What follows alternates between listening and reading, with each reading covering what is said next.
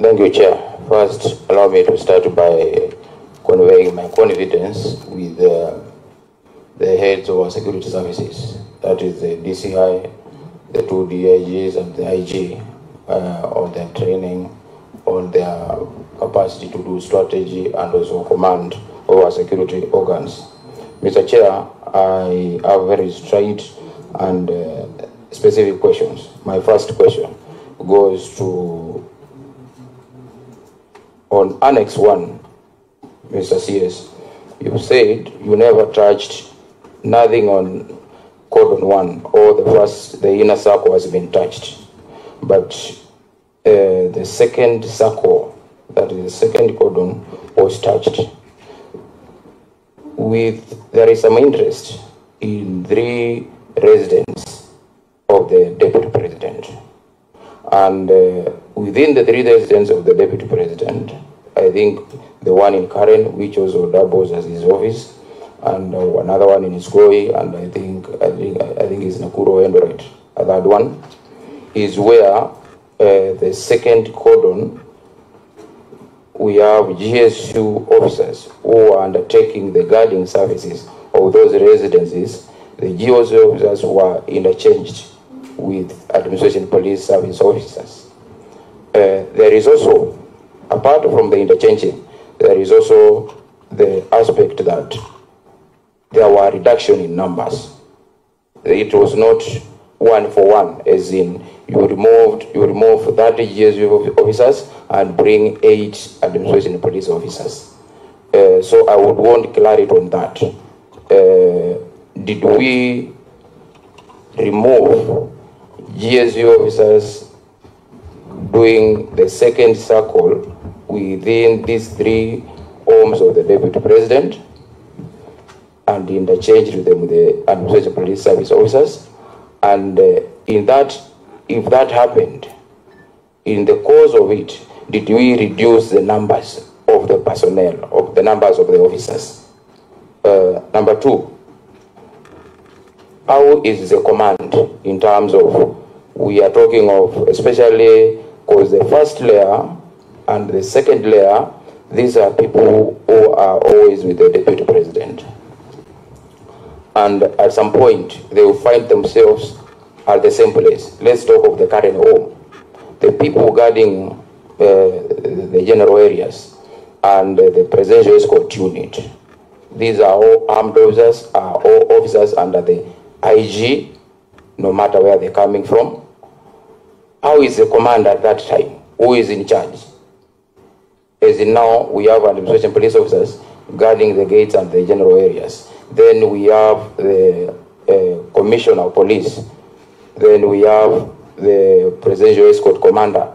Who, who, somebody somewhere, one of the officers has to be in charge of at a certain point. We can't just have uh, everybody in charge, three commanders from three different units taking charge of uh, the same residence at, at, a particular time.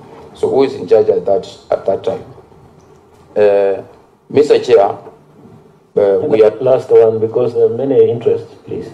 Mr. Chair, it's better we take the whole day here and accommodate these questions. Uh, You, you, you can ask that question, Honorable, please. You can ask that question then in the second lot because the others also want to ask one question each. Oh, thank you. Yeah. Yeah, because the chair, the person we are talking about is in respect to what uh, Honorable Chibugut has quoted on the Constitution, the duties of the president and uh, what the president does to this country.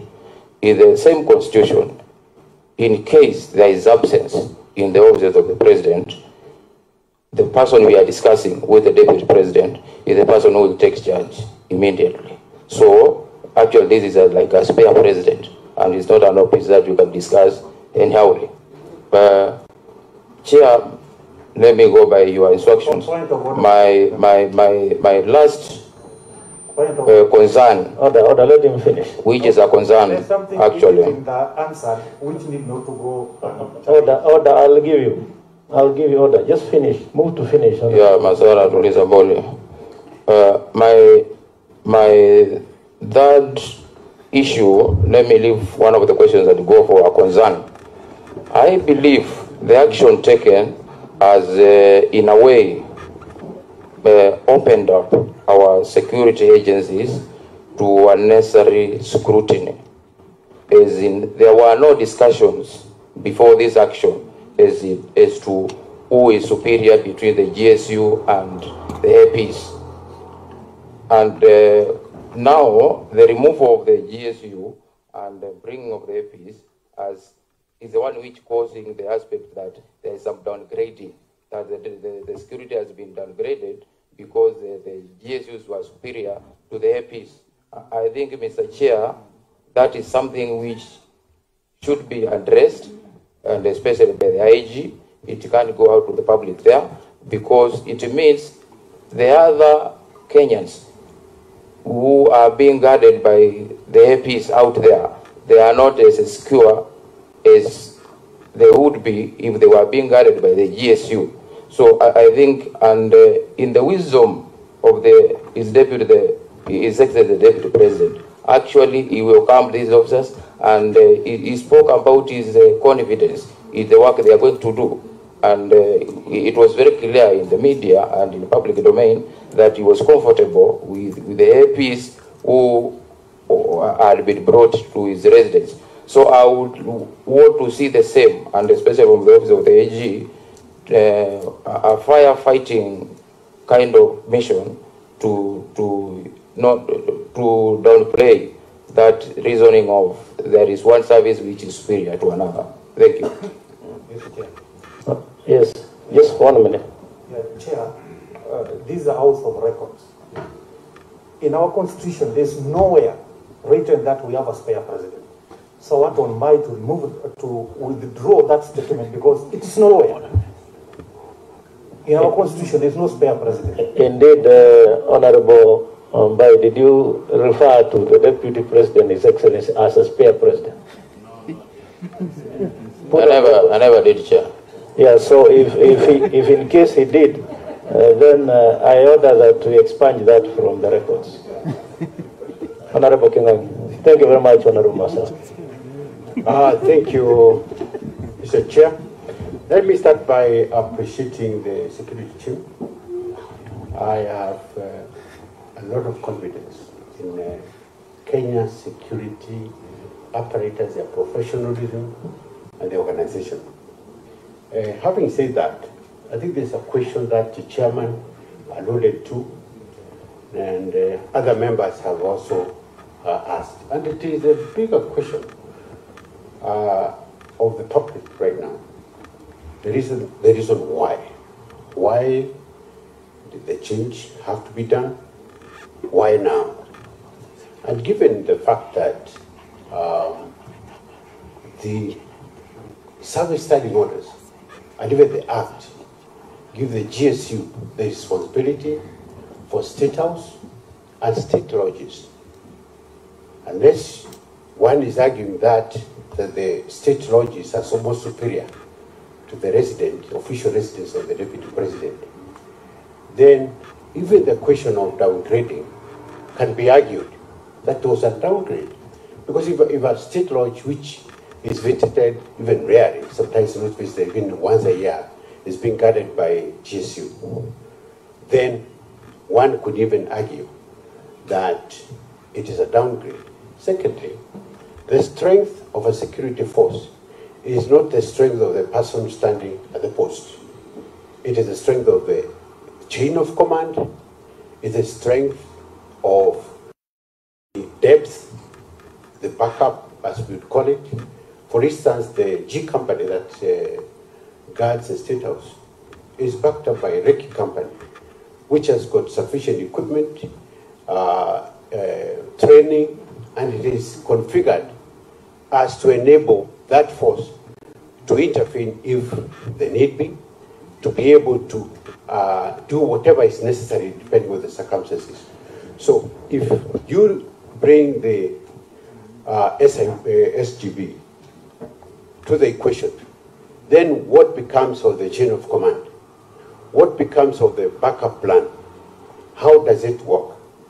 So the question why it was done, I think it's still pertinent, and I think it's a big question uh, in the minds of, of the public.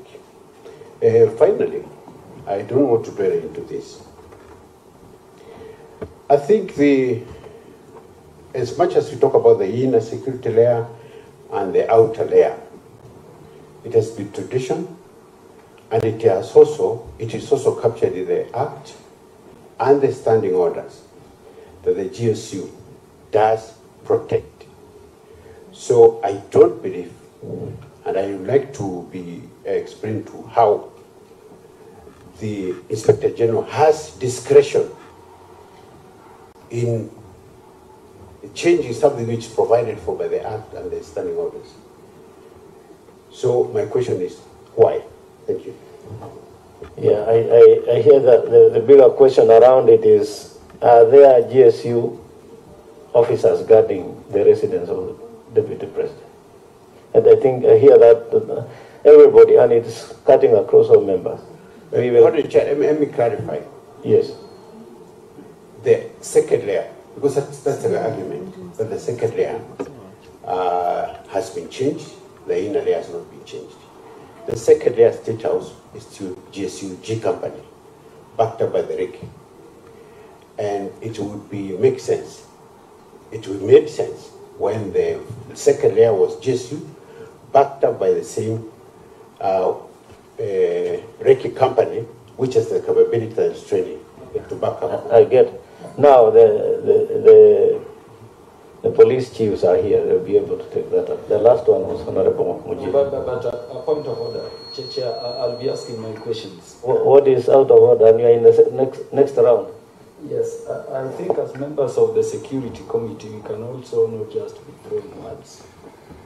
When you say State House should be guarded as same officers as the residence of the deputy president, there should be reference to the law and the standing orders. And Honorable Kinyangi, the law talks about State House, state lodges, the president and the deputy president, not the residence of the president. That Yes, in fact, I had wanted that to come from the Honorable CS, so that they can give us details. I had that question, but let him uh, uh, clarify on that. Honorable Ambu. Thank you very much, Chair. I will actually start my question from where Honorable Kaluma has just gone in. I wanted to ask the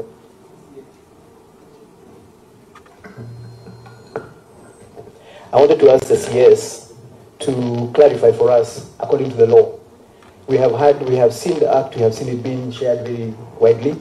I have heard my colleague Honorable Kinani suggest that uh, the Deputy President's residence should be above State Lodge. That's where I just understood him to be suggesting right now.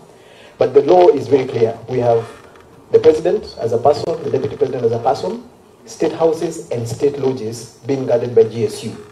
What I now wanted to understand, what is the definition of the Deputy President's residence according to the law? Is it, is it categorized into something that then becomes part of what is in the law to be guarded? That's my first question.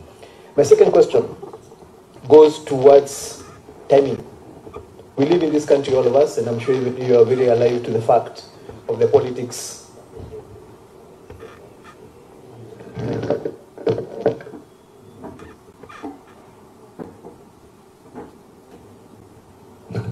Thank you. I think this is better. But I'm sure you had the first question, so I'll just go to the second one. We live in the country where we are very alive to the politics of the day, and I'm sure you knew that the decision you made was going to be politicized. And I wonder whether you actually factored in how you are going to deal with that. Um, in this time and age, there are going to be people who are going to take a decision like that and make political capital out of it. And I say this because of the very interesting observation I have made. The principal himself, in this case, who is the deputy president, is on record saying he has no problem with the changes that have been made. However, his allies, every single day, are using this to play politics with. And so the question now I have on this, order, Chair. Uh, you will allow me. You, you will allow him to finish, just You- like. you are allowed to finish. Yes. Yeah, you are allowed I you to think there is something that should not Honorable, continue. Chair. Honorable Mbai, I allowed you to finish, and then I took the point of order. That's how we shall conduct business. Thank you very much, Chair. The question I was making is, it is on record. The principal himself has said he has no problem with the security arrangement that he has. His allies are the ones who are playing politics with this issue. And now the question I have is, we have a public letter from the chief of staff of the principal complaining about this. Then we have the principal himself saying he has no problem. At this moment in time, who do we engage with? Do we engage with the public statements from the principal, as security officers, yourselves and us? Or do we engage on the public or the official statement from the chief of staff? Or from the issues that are coming up from the allies? My third question. We have a situation, and I I want to, it's something about order of command. Um, it has been raised by a couple of my colleagues here, the issue of when you bring in new formations around the deputy president, is there a structure that takes over that formation and says that now you've come in around the deputy president, you report to this particular officer, or what exactly happens? I ask that for this reason. When we have a situation where a VVIP has security officers who are police officers, who are then protecting situations that are not um, legal or lawful, as my brother Masara might have raised. Who do you question at that moment in time? You have a situation where police officers are not allowed, are not supposed to allow us to have public meetings. And then I have a public meeting, and my police, my security uh, escort is there with me. Are you able to ask him, as the IG, to give you information on what that particular issue that arose, that arose? Because maybe that is part of the problem we're having here. My final question, which actually has been sent to me by somebody from Nyeri, who apparently I didn't know we were live, is does the law determine how many officers a VVIP is supposed to have? Is there a constitution? Because sometimes I feel as if part of the reason we're in this problem, I have looked at the historical security of all the uh, vice presidents that we have had.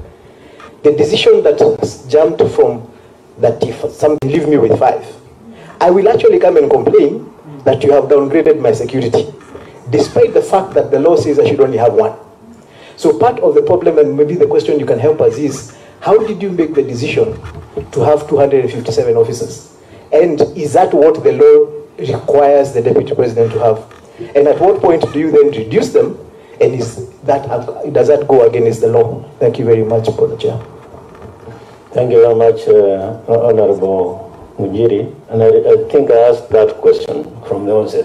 Another question that is troubling everybody, including I asked whether if I want to beef up mine, you can allow that to happen, and you skipped it. Maybe this time around you will be able to address it. But uh, what, what is out of order? Yeah, thank you, Chair. Chair, we are discussing uh, the matter of security, actually government, the Deputy President, the CS answering questions about security, which is government. I don't know where the issue of uh, allies are coming from. What is allies in government? What is allies in government? Well, well uh, I, I, hear you, but uh, I, I hope it's not me you're asking. If you ask me allies in English, I know what it means. I'm asking through the chair. Uh, Honorable Wambugu said his allies. So I'm wondering, we are discussing government and security and the deputy president. You want, okay. What- what is his What, what, allies? are, what, what are allies, Honorable Ngunjiri Wambugu? What are allies? Thank you very much. I'm actually very happy to answer that question. The reason we are seated here, uh, when, uh, Chair, uh, Yeah, yeah, just to explain who, Yes. who allies are. The reason we are seated here The here is definition that of ally. there was a complaint that was public. That is what has raised us, given us the opportunity to, made us actually someone, the CS and his team. That complaint has been public. The allies are the people who are associated with the deputy president, his friends who are looking out for his interests. And I don't think it's a bad thing. I- I- I I think it's actually a good thing. Yes, I think, I think, and this, he alluded to, and this is very important, Honorable CS, he alluded to a letter written uh, to IG of police by the chief of staff, and I think that needs to come out, so that in case, and if indeed it happened, then we, we, we also want to be private of the contents of tho- that letter. Honorable CS, I think you can go. Thank you very much, uh, um, Mr. Chairman, sir, and thanks, honourable members, for the questions that you have asked so far. Um, le- let me uh, start in, in the order in which they were raised. The question that Honourable Mbai asked is about downgrading and whether or not we should comment about this. Uh, let me be very frank as a public officer and, the minister in charge of security in the country. most of the debate that is going on about this, and anyone you hear talking about downgrading, definitely displays some measure of very frustrating ignorance. For example, the IG has got over 13 other units, some of them crack units that he could draw from in providing support to the deputy president's security. When the deputy president moves, for example, to some parts of, of, of the country, if the IG feels that he needs to bring in SOG or QRT or so on, you see people are raising questions. Many of the people are debating these things. First of all, don't understand the entirety of the formations of the police service. They don't understand the strengths and the capacities that we have and the training and the capacities of all the other formations. So people have just proceeded from a propagandist the point of saying you're downgrading the, the security of the, the, the deputy president and so on. We're not looking at the facts as they are. In that layer too that I, I, I have I've used to demonstrate to you that we actually call these in operational terms support services, you know, because the core team that is supposed to protect the, deputy president is the presidential escort. This is what is prepared to protect the deputy president. Whether he is driving, walking, flying, what have you, these are the people, it's intact, he's protected. Then support services, the IG has got over 13 units to draw from to provide support services. What tells you that this unit is stronger or weaker than the other one? And over a period of time, given the resources that we have dis- uh, deployed, there are other units that actually you do not know of that probably have got stronger and even better capabilities to do certain things. Because uh, let's look at Article uh, 10 of the National Police Service Act. It's very clear. The IG shall determine the distribution and deployment of officers in the service. And how does the IG determine? He uses the information that is given. He uses the intelligence that he receives. And from time to time, he will make certain changes. Why are we second guessing the IG in the decisions that he has made when he has made so many of that decisions, uh, of such decisions in the past on other, on other areas? And we have demonstrated clearly that the deployment in terms of personnel and asset that we have given to protect this office and the holder of this office is very strong. In fact, Mr. Chairman, some small counties in this country, like Vihiga and, uh, and Nyamira, for example, probably don't have this kind of uh, uh, deployment and in terms of even assets, as it were, in providing the support that we are providing to this office. So the question of downgrade, and I Sorry, to sorry, what did you say? I'm saying that the, some there are some counties that are smaller in, in, in the country. The smaller counties like Viga, for example, probably don't have the strength of deployment and capacities and assets such as we have deployed to protect the holder of this office. So, so, so when, when, when people jump up and say, oh, you know, there's downgrade and so on, in quality and operational terms, you'll have to go into an operation room and listen to the director of operations tell you everything about this before you make that kind of conclusion. I want to state here again categorically, for the record, there has not been any downgrade of the security of the deputy president, period. So, so, so these, these banding words around really, honestly, is, is, is, is not fair. Why was this done? I explained Mr. Chairman. I am willing to discuss that, but I can't discuss it in an open meeting. Because that is tantamount to sharing the notes of the National Security Council or the Minister of the Council in an open meeting like this, and I have no clearance to do that. Why and the background to this rearrangement, I cannot discuss in an open meeting because I'll be going deep into an operational issue. Are you, I'm not allowed. are- are you able to discuss in camera if you have clearance? You have the clearance to discuss in camera. If you provide, This is the committee that oversees the issues of security. if you provide an in-camera proceeding, maybe I will discuss that. I will be able to explain the background to that. But but I can't explain it in, a, in an open meeting like this because now I'll be I'll be moving into the realm of operational issues, and then then my colleagues here, at the heads of the agencies, will not allow me to go into operational issues in an open meeting uh, uh, like this. Um, the the the it's clear. Let's just be very frank with each other, Mr. Chairman, honorable members. The deputy president's residence is not a state lodge. It is not a state house. The law is very clear. It's black and white. It's a residence. It's a residence of the deputy president. It's not a state lodge. It's not a. It's not a, a state house. You know, there's some things which look or sound politically sensible, but frankly, when you go by the law, they don't. How would you come up and use phrases such as are being used and, and so on? The framers of the constitution, you are the legislators. Give me a law to work with on this basis. Give me a law that designates the residence of the deputy president and makes it a state law. Then, on basis of that law, I will gazette it. The, the, the, statement of state lodges is very clear. The law is clear. The record is there. You know the state lodges and state houses that are supposed to be protected by GSU. The, the residence of the deputy president is neither a state lodge nor a state house. Sasa mimi nafikiri hapo Mr. Chairman ni sawa. All right, just- just proceed with the rest. Yeah. So, so, so the, the question of the politics of of the decision that we made. You know, we are public servants. We we, we, we are public servants. We work uh, in a manner that we know we are going to be accountable to the public through members of parliament, through a committee like this. When we take decisions, we, we don't wake up in the morning and look at the weather and look at this. We make a decision that we believe is right to make at a particular time. We know that there are certain times where some political practice comes with some sympathy addiction. You know, the sympathy addicts who look for sympathy over anything. And we have watched that sympathy addiction eh, around the country where, you know, people draw sympathy over everything, you know, and so on. But you see, let me ask you a question. As people who expect these wonderful group people seated on my left here to provide security for you, how would you operate in an environment where they wake up in the morning and check the political temperature, the weather before they make decisions? We believe in making right decisions. And the decisions that are right and necessary will be made, regardless of the time they are made. And then, and, and as I keep saying, we in the security sector, we don't do this work to be popular. We, we, we would rather be right than popular. We want to do what is good for the country, what is good for the officers that we have been given to look after. If I had an opportunity and explained to you and Mr. Chairman went into details about how this decision was reached uh, at, you will be very happy with us because you will know that we have made very serious considerations. And this Inspector General, this gentleman seated to my left here, is a very considerate and very responsible public servant. So, so to cast aspersions and say, oh, you know, why was this done and so on, this is not a whimsical decision. It was a culmination. It was made after several considerations have been had. But as I say, I can't discuss those considerations in an open meeting unless, you know, you have an in-camera session at which uh, I can discuss that and, and I will share with you uh, to an extent about that. The question of responsibility of police officers. You know, Mr. Chairman, this gives me an opportunity to respond to something that everybody asks me all the time.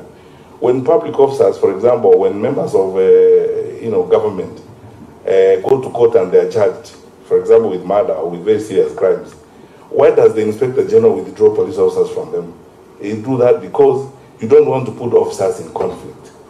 Because you cannot get officers and tell them uh, to go and commit a crime or to accompany you to commit a crime, as it were. I, I understand and I hear you, uh, honorable members, when you are saying uh, if we are breaking the law, we are breaking COVID regulations, and we are in the company of police officers, what are we supposed to do? We all start, first of all, with the fundamental good faith in all of us. And as I said earlier, there must come a time in the positions that we hold when some of the actions we take are driven by our own moral positions. So if those leaders, some of them senior in society, feel that what they are doing is the correct thing, uh, of course, it's for the public to, to, to judge, but we have kept pushing our police officers, and I know, I am aware, because the Inspector General has told me, that he remains in constant communication with senior police officers in the command of those who guard such VIP officers to ensure that they also assist in ensuring that the law and order is maintained. We hope that this situation will improve, but I can hear the concern that the honorable members have, and will continue to work uh, at it. Is there alone the number of deployment? There is no law. I'll be very happy if you enacted one. Maybe if you actually enacted one and said for every holder of an office, uh, you'll be entitled up to X, it will be very happy. I mean, we will all be very happy, and I'm sure that the gentleman to my left will be very happy because it will make the work much easier, uh, as it were. But now, as it is, I, I gave you this example, Mr. Chairman. If today, for example, the holder of that office uh, requested that uh, I have uh, a butchery in Rongai, and I need the butchery to be guarded, and you refused to guard the butcher. then the butcher was attacked tomorrow. I mean, if we are insulted now, look at how we are being excoriated for just a routine reorganization of security. Can you imagine what would happen to us if that happened? So when a request comes, we accede to it. And then, then, then we, we, we keep moving forward. And all these wonderful men in the police service are doing so in good faith. And, and the question CS then was, up to what extent will you keep on acceding to requests? Up, up to which number will you then stop? Because uh, uh, as much as you're answering the others, you, you will now open uh, this, this line for us to be able to ask for extra police officers or security officers for that matter. Well, uh, please enact a law. Let, let, I, think let's, I think let's end the debate there. If you enacted a law that brought about limits, that brought about, um, talked about numbers, uh, and then, then, then we can be able to uh, solve that problem once and for all. The letter from the chief of staff that was written to the IG and to the Inspector General, I mean to the Head of Public Service, and copied to our PS, Dr. Kibicho. You know, the less I said about these things, the better. To be very honest with you, because of one thing. Uh, you can notice how, in some cases, Mr. Chairman, to be very frank with you, we are, if we are not careful as a country, we are sinking to new laws. Where you would, where in this world, just tell me, Mr. Chairman, where in this world would a holder of an office of chief of staff in a senior office like that write a letter and put it in social media before it even reaches the inspector general of police? Where? And then so on. You know, this issue has been characterized by some very juvenile activism, petty propagandism, and so on. And then the facts are lost in that process. And then we don't want, we, because we are respectful of the institutions that we work, we don't want to go that direction.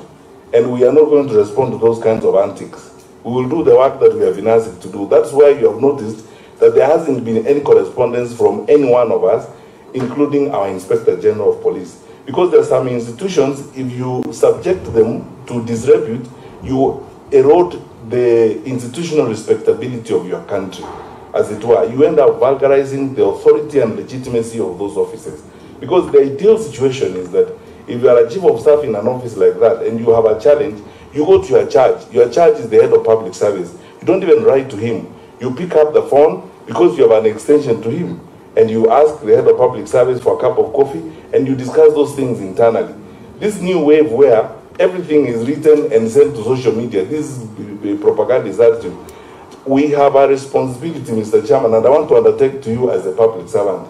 We have institutions, we inherited these institutions, and we have a duty to hand over institutions to the next generations that are intact with the respect that they deserve. The respectability of security sector institutions is not going to be vulgarized and dragged through the mud because of sympathy addiction and all that kind of thing. Thank you, sir. Right, okay, we, we will then take uh, Honorable, Honorable Mai, you have already spoken. So we are going to the next people. There are people who have not asked questions. Honorable Rosa? Honorable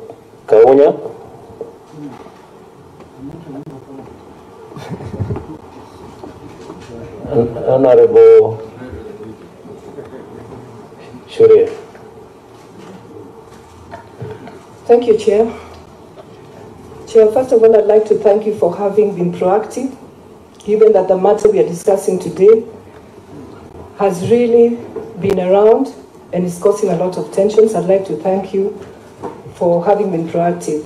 In the same breath, I'd like to also thank the CS for giving us such a detailed explanation.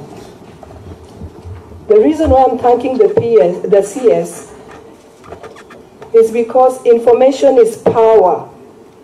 And what is happening today in this country, Mr. Chair, is that we are being governed by propaganda. When I look at the details that the CS has given, Chair, I feel sad.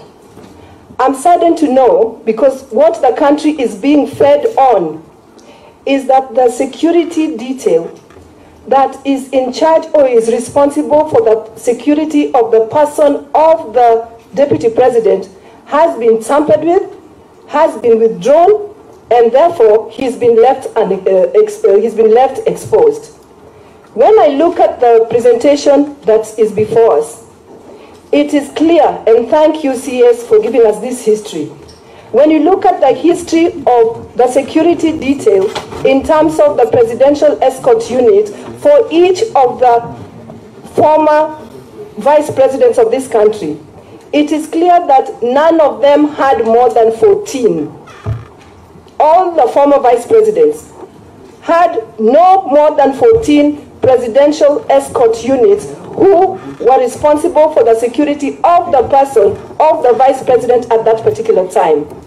But the, it is clearly de- demonstrated here that the current holder of this office has 74 against 14 of all the former vice presidents.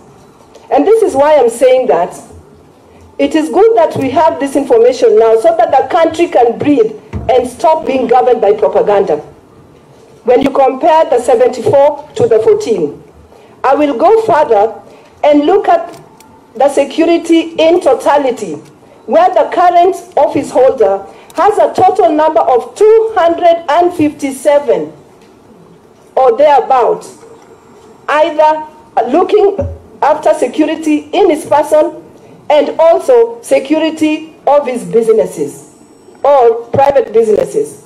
257 against the highest of 57 of the Honorable Raila Amolo Odinga when he was the Prime Minister at that particular time. So we are comparing 257 with that highest of 57. The reason why I'm bringing out this comparison is just to quell out that propaganda so that Kenyans can actually see the reality that indeed one office has 257. This clearly brings me back to Animal Farm by George Orwell, where it says that indeed we are, or we are equal, but some people are more equal than others. And the demonstration here clearly shows that if you are a holder of the office of the deputy president, you are indeed more equal than any other Kenyan. And Mr. Chair, I'd like to request the CS at this particular point, because I know Kenyans are watching, Kenyans are anxious, Kenyans feel exposed and unprotected. Could you kindly,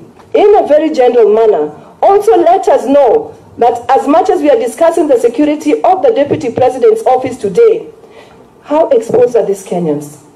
What is the ratio of this police security to the Kenyans? I would like to request for that. I would also, my second question, Chair, and I was quiet when everybody was talking, so I just request members to also give me that Yes, opportunity. Hon- Honorable Peter Masara. My you second spoken. question. You let Honorable Rosambu speak and then you'll ask after that. If there is a point of order, Yes, point of order. that, that is how we are conducting business. Yes. Please. My second question is I'd like to know from the CS and his office, is there a code of conduct that governs how you carry out your routine responsibility? For example, because everybody is asking, why now? Why now? And we've clearly seen that there was just a rearrangement. Rearrangement to me, coming from a background of being a teacher of English language, does not mean withdrawal, it does not mean downgrading, it is rearrangement. So I would request the CS to kindly let us know, is there a particular code of conduct which should govern your routine actions so that if you are withdrawing, if you are, if you are replacing um, an AP called Otieno with one called Kipyegon or another one called Wafula, are you bound by a code of conduct which should govern you and make you talk to the officer or talk to the deputy president's office first before you replace Otieno with Kipyegon, with Wafula, or if there's an Asian, with uh, Yatin? I'd like to know if there's a special code of conduct and if you actually didn't follow that code of conduct, then why? That should be the question, not why now. Because if it's routine, I imagine that you, are, you, you, you can carry out your routine activities. But I'd like to know, is there a code of conduct that governs your actions when you have to? Done? Um, Chair, I hope You you're going have, to you give have, us you have done two questions. we have done two questions and I don't want to be selfish by doing another one. Yes. But I hope you'll give us an opportunity to speak as Kenyans, uh, as leaders. Because, Chair, I think as leaders we must bear responsibility for this country. The people propagating and the people causing this propaganda and bringing the country into so much tension is nobody else but leaders. Right. But hear- I- lead us on false information. I hear you. I hear you. So Thank let, you, let's do it this way. We finish with the business here, then uh, uh, you know what you can do as a politician, but uh, not in the committee. Chair. Honorable, Honorable Kaunya, Point of order, Chair. Before. wh- what is out of order? Thank you, thank you very much, it. Chair. Just one moment. What is out of order? Chair, this is a house of record. Honorable, my sister Honorable we have just mentioned that we are governed by propaganda. The right word is that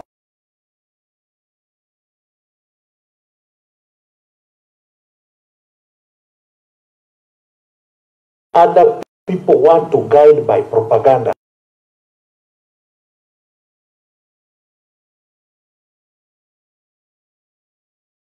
We are being guided by the constitution.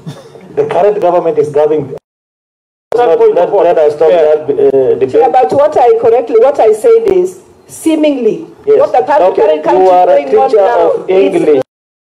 I have two questions. Uh, Chairman, um, speaking with a background of having undertaken training for some of these officers that provide VVIP training and uh, the critical infrastructure and vital installation protection. Uh, Chairman, last year, 2018, his Excellency the President, Uhuru Kenyatta, launched a police reform program that was meant to harmonize the command and control of officers in the field. And this, uh, I believe, was implemented. And my question is, Chairman, my question to our CS is if indeed these reforms took place, and in these reforms, Chairman, you'd recall that under the Constitution, the National Police Service is comprised of two units, the KPS and the APS. The distinctive roles were clearly specified in this arrangement of the reform where the APS under DIG uh, APS was to undertake that protection, critical infrastructure, the border, our borders under the border patrol units, and of course the protection of the VVIPs fell under that unit. And uh, the Kenya Police Service were to undertake other roles as specified. And uh, these roles, I believe, if that was implemented, and I think that's a question I want to ask the CS, then the question of all these rearrangements is actually, Chairman, misplaced. Because the units that are supposed and they have been trained very well on protection of very important people, VVIPs and VIPs, at the General Service Unit and the APS. And Chairman, you recall just uh, a week, two weeks ago, Chairman, we were at Kanyonyo, Chairman, you recall, uh, where we have the Border Patrol Unit and the training. You witnessed the kind of training of the QRT, for example, the Quick Response Unit. It's one of the most well-trained units that actually is supposed to be guarding the president. Now, based on that reorganization, uh, CS, if you can clarify, even for the public, it would really help everybody to understand that aspect. The second question, uh, I believe that uh, our police officers are well professionally trained and they are doing a good job. Of course, they need to be funded in those areas of shortcoming.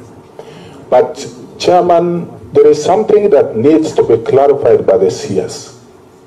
Whether there is a gap in law in terms of the numbers we deploy, uh, more particularly, Chairman, I want to give an example. In America, when Donald Trump was elected to be president, he resigned from all the companies he was guarding. I think there's something not very, very clear about what the CS brought out. That uh, requests for guarding of even a butchery. I think this question has either gap, and I think the CS, if you can clarify, then chairman, I would propose as a committee, we come up with amendments to make sure some of those gaps are fixed. Thank you, Chair. Thank you, thank you. I, I, I thought you would start by saying you were previous commandant of which college? Chairman, I was uh, commandant of the AP Training College at Embakasi, and uh, some of these officers who have been deployed to guard uh, is uh, the deputy president are some of the most well trained internationally, not not local training. They are trained internationally. Okay, thank you. So, and I'm very, very have the confidence that uh, they, they, they have what it takes to do the job. Thank you. Honorable Shurir. Um, thank you, Chair. Um, Mike, I have two questions for the CS. Um, there was this famous gentleman by the name Kenei. Could he tell the committee, was this gentleman a GSU officer who worked at the DP's office? Was he a GSU officer or an administration police officer? Um, question number two. Uh, Tongi.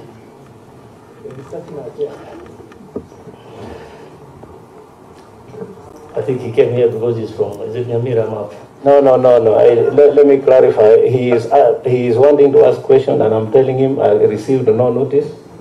So if you gave me no notice, we're not going to allow. Those are in the standing orders 195. Yeah, I have only one notice from the Honorable Junet. Okay, uh, proceed. Thank you, Chair. Um, question one was whether Kenei was a GSC officer or an AP officer, and I think he worked at the DP's office. Question two, um, the CS did mention he cannot share the reasons as why the changes occurred because of operational reasons. Just, um, is the deputy president supposed to be made aware of the changes prior to the changes happening? And the reasons why the changes were made? If so, was he briefed prior to the changes being made? Thank you, Chair.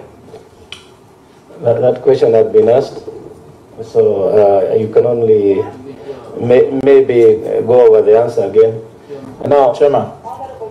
Order Honorable uh, Bai, because there are people who have not asked questions, and they are members of this committee, and they need to engage.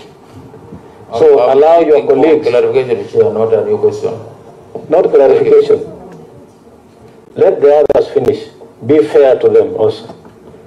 Uh, we want to take final round because uh, of time. So, uh, Honorable CS, I want to take the remainder of the people so that then you can answer all of it together. Then we come to a close. Is that okay or is it too heavy? All right, okay. For those who haven't spoken, uh, uh, Yes, Honorable Tecla Tum, uh, who is uh, following us virtually, can you ask a question now? Ask your question now. Honorable Chair, I have uh, two or three questions and uh, comments. And, and make it brief because of time. Eh? Yeah, I'm making it, yes. Thank you. what does the Constitution say about the security of the deputy president? Number two, was he informed when the officers are removed from his residence? Number three, uh, Honorable Chair, uh, research, uh, there was a research done and it has shown that Kenya is number four of the people who are having stress levels. Honorable Chair, we are one year less to the elections, and uh, we have to take care of everything we are doing now, even in the security. I normally talk very well about security uh, uh, apparatus, and I know the CS is very good in his job. And he has to tell the people who are doing the operations, uh, the transfer, and uh, transfers are not abused to do things in the right way. Honorable Chair, ask politicians, the deputy uh, president inclusive, have a following. And you cannot control the people in such scenarios. So, Honorable Chair, let's not take things easy. It is not as easy as that. As members of the security, want the security of all tenants and the top leadership inclusive. That is my contribution, Honorable Chair. Thank you, Honorable Dr. Tecla Tum. I can confirm that we have had all your questions and the CS has taken note. We will leave you and we'll keep you on so that you can get the answers when he starts uh, replying. Uh, Honorable Junet, sorry, it's not Honorable Junet, sorry, for the remainder of the team, um, the committee, because the standing order say we shall first give the members of the committee, those who are interested, Honorable Kaluma, and then Honorable Vice Chair. Then in that order, after that, we'll go to Honorable Junet. I thank you, Chair, and I thank you, CS Chair. I traveled from Homa Bay to Nairobi by road uh, last night. In fact, I arrived here, Chair, you remember. I, I communicated with you at 5 a.m. in the morning, believing that the deputy president was exposed. Chair, I'm saying this because from the statement I have here, I disturbed my person traveling by road of a person whose security detail is bigger than the entire security detail guarding Homa Bay County. And I think I want to request that in as much as we play politics, we should not play politics with matter security. Chair, to put this matter in context, the deputy president, in his usual manner, says he has no problem with the security reorganization around him. But the politicians around him are saying there is a downgrade and undue exposure. And, and this, based on that of his chair, is occasioning unnecessary anxiety in public mind. So, so Chair, my first uh, question or request is that the people around the deputy, some are not just politicians, CS. And in as much as you are saying you should not be bothered by the letter which came from the chief of staff of the deputy president, the public concern about this matter commenced from that letter. Yeah, I saw it on Twitter and I asked what was happening. But I was asking why didn't the deputy president's chief of staff, knowing the security channels and arrangements, you know, speak with them in a manner that protects the integrity and the professionalism of our security apparatus. So that chair, I will be seeking your directions at the end. That in as much as the CS and his team say they are not politicians, they want to do their work and leave it at that, the matter of the conduct of that chief of staff in the office of the deputy president, being an employee under our charge as parliament is a matter that must be dealt with. So that I'm confirming that after this, if it does not come from the committee on its own motion, I'll bring it before the committee so that he can come here and tell us the code of conduct under which he operates when he writes and posts things in the social media in the manner he's doing. But CS, this matter has been uh, taken as a discourse outside there because the members of the public and the media, which is our main channel of communication, do not take time to understand the law beginning with the Constitution. In fact, CS, I'm shocked at the manner and the extent to which our very competent officers in the administration police service have been undermined. When you hear people comparing our APs to even G4S, I think we don't understand what the administration police service is and the Kenya police are. So I would have requested that because the media is here and Kenyans are watching,